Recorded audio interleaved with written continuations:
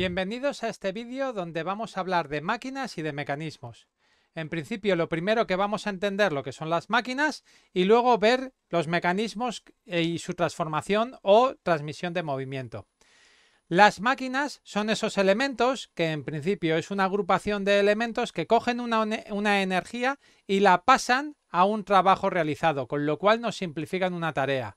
Y son muchos elementos trabajando en conjunto. Para el caso que sea solamente un elemento, tenemos las máquinas simples. Como ejemplos ponemos el plano inclinado, donde la fuerza verde que hay que hacer para subir la caja es menor que el peso, puesto que se descompone con el ángulo de la pendiente, el siguiente ejemplo es la cuña, donde la fuerza verde se descompone en las dos fuerzas resultantes cuya dirección varía con el ángulo de la cuña, y el torno que lo veremos en el tercer vídeo de transformación circular lineal. Si paso al mecanismo, en principio son todos esos dispositivos que transforman o transmiten un movimiento. Pero antes de nada, vamos a entender lo que es el movimiento. Tenemos cuatro tipos el recto, el lineal, el circular, trayectoria curva, el alternativo, línea recta, va y vuelve, y oscilante, línea curva, va y vuelve como si fuese un péndulo.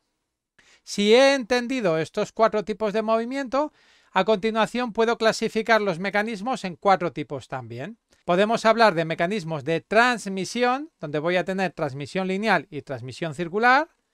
Y luego voy a tener transformación, donde el movimiento circular lo voy a, transformar bien en un movimiento alternativo, bien en un movimiento recto o bien en un movimiento eh, oscilante eh, en una trayectoria curva. Pero todo esto lo vamos a ver mostrando ejemplos de unas maquetas que tenemos en el instituto y esas maquetas en principio mostrarán y, definirán los diferentes tipos de mecanismos que nos encontramos. Para que no sea un vídeo excesivamente largo, lo vamos a grabar en diferentes vídeos y el primer vídeo va a ser la transmisión lineal. Posteriormente, en vídeos sucesivos, haremos la transmisión circular, que sería el segundo, y finalmente la transformación del movimiento circular. Vamos entonces ahora con la transmisión lineal y empezaremos lo primero por la palanca y luego por la polea. Comenzamos. Vamos a explicar la primera de las máquinas simples que es la palanca. La palanca es una barra rígida que apoya sobre un fulcro sobre la que puedo aplicar una fuerza y va a levantar una carga. Si esto lo veo de lado, voy a hacer una fuerza F que va a levantar una carga P, que es el peso del objeto que tenemos aquí. Voy a marcar el fulcro y marco la distancia de sub P y de sub F tanto al peso como a la fuerza. Ahora vamos a entender el equilibrio de fuerzas y momentos que tengo en el fulcro. El fulcro tiene una distancia al peso y tiene una distancia a la fuerza. Pues bien, si hago el equilibrio de momentos, eh, técnicamente sería el sumatorio de momentos para que fuese cero para lograr ese equilibrio, lo que me sale es que tengo una distancia por una fuerza, que es la que me daría ese momento, ¿vale? Con lo cual tendría P por distancia al peso, que tendría que ser igual a la fuerza por la distancia la fuerza por la distancia a la fuerza. Y esta es la ecuación de la palanca. Si esto lo entiendo, vamos a hacerlo con un ejemplo sencillo para que lo entendáis. Imaginad que el peso son 50 kilos y yo tengo que ver qué fuerza tengo que aplicar para levantarlos.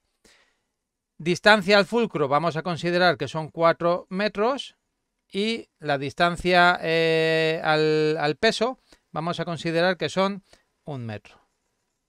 Si opero directamente con estos datos en la fórmula, el peso en principio son 50 por 1 que son los metros que tienes de distancia, es igual a la fuerza por la distancia que tengo.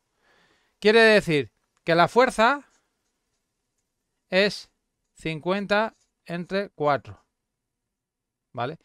Hago cuatro veces más fuerza con, con esta palanca y puedo levantar cuatro veces más que la fuerza que pueda realizar. Ahora vamos a entender con ejemplos los tipos de palanca. La primera, que podemos ver en cualquier alicate o en cualquier tijera, si vemos tiene el punto de apoyo del fulcro y sobre él, pues en este caso tiene por ejemplo este brazo que es azul y acaba en una cuchilla afilada. Y tiene aquí lo que es la bisagra, con lo cual tiene aquí la carga y aquí tiene la fuerza que se le hace. Son opuestas y esta es la palanca de primer grado. Vamos con un prensaajos, que es una máquina eh, utilizada, eh, vamos a decir, en, en, alimentación. Lo que pone es aquí una carga y aprietas y tendremos que es el siguiente elemento. Donde aquí yo hago la fuerza para apretar y el ajo. Con lo cual, en esta tengo en el medio el punto de apoyo fulcro y en esta tengo en medio la carga, la fuerza que hay que hacer. Esta es una palanca de segundo grado. Y si por último entendemos que esto es un quitagrapas, la carga la tengo en el extremo y la fuerza la hago un poco eh, más cercana al fulcro. Si hago el esquema, no es más que aquí hago la fuerza y aquí es donde tengo la resistencia. Con lo cual, vemos que si en el centro está el punto de apoyo es grado 1, si en el centro está la carga es grado 2 y si en el centro está la fuerza es un grado 3. Bien, pues esta es la primera de las máquinas simples que vamos a explicar. La siguiente de las máquinas que vamos a explicar es la polea. La polea es un elemento mecánico que en principio lo que tiene es una rueda, con un acanalamiento interior como podemos ver en este ejemplo.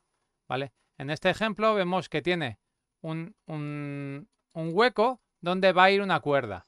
Si esta, si esta polea la dejo quieta, en principio, si tiro de una cuerda, la otra cuerda va a subir. ¿vale? Y este es el sencillo mecanismo de la polea. Vamos a entenderlo con las fuerzas y todo el desarrollo. Yo tengo la polea que está en principio sujeta de su centro con lo cual le permite el libre giro de dicha, de dicha pieza. Si yo tengo aquí una carga, vamos a decir, si este eh, es un peso, lo puedo reflejar con el centro de gravedad, ¿vale? Yo tengo que hacer una fuerza en el otro extremo para poder levantarla. Lo único que me va a hacer es que la caja que yo tenga aquí, con su peso, al tirar, al tirar de la, de la, de la, de la cuerda, lo que me va a hacer es que esta tensión eh, levante la caja en el otro sentido. Si seguimos con el mismo desarrollo de la palanca, lo que voy a tener es que la P por dP igual a F por DF. Para entender el equilibrio de momentos que pueda tener yo aquí. Sumatorio de momentos igual a cero. Si eso lo aplico, dado que es una polea circular que tiene radio R, pues tengo PR igual a FR. Con lo cual, estas dos se anulan y F igual a P o P igual a F en una polea. La longitud que va a subir de hilo, lógicamente es la misma. Quiere decir, para subir esta distancia un metro hacia arriba, necesito un metro de cuerda hacia abajo. Vamos a entender ahora las poleas dobles. Las poleas dobles, en principio, no es más que una polea que tengo fija, ¿vale? Y otra polea que es móvil, que no está sujeta a ninguno de los lados, ¿vale? Entonces, ¿qué me está haciendo esta polea? Esta es la polea que sujetará la carga. Y eh, vamos a ver cómo influye este reenvío que tengo aquí. Si lo veo en el esquema, lo que voy a tener es esta polea, como he dicho, esta va a ser la polea fija, que tiene un extremo, que es este, que es donde se le va a hacer la fuerza. Vale. Eh, el otro extremo de la polea, el otro extremo va a la otra polea, que la tengo justo debajo. La diferencia es que este extremo va a la parte fija. Este extremo va a esta parte que es fija que es solidaria a la parte superior. Entonces aquí es donde yo le puedo colgar el peso. Si le pongo un gancho para sujetar este peso, que va a ser el que haga la fuerza. Con lo cual, vamos a ver este desarrollo. Si hablo de este desarrollo, tengo F, que si la F y la cuerda es rígida y es constante, vamos a decir, no se deforma, si la cuerda no se reforma, entonces lo que tengo es eh, que esta F es la misma F que tengo aquí, con lo cual es la misma F que está tirando en este lado. Y de la misma forma como la cuerda sigue siendo continua, tengo aquí la F también en el otro lado. ¿Por qué? Porque la cuerda esta no se deforma. Entonces, ¿qué, eh, eh, la operación directamente. P es igual a 2 Fs. ¿Vale? Con lo cual quiere decir que F igual a P medios. Tiro con la mitad de fuerza que tengo del peso original. En cuanto a la longitud de cuerda, si yo quiero subir un metro el peso, ¿vale?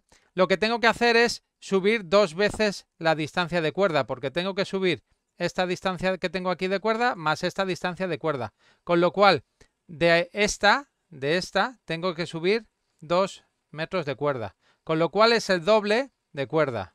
Quiere decir, la mitad de peso y el doble de cuerda. Con esto, la polea doble queda explicada. Una vez que hemos visto estos tipos de transmisión lineal, ahora pasaremos en un siguiente vídeo a ver la transmisión circular, de forma que nos queden claras cada una de las partes de la transmisión de este primer bloque que hemos hablado. Nos vemos en el siguiente vídeo.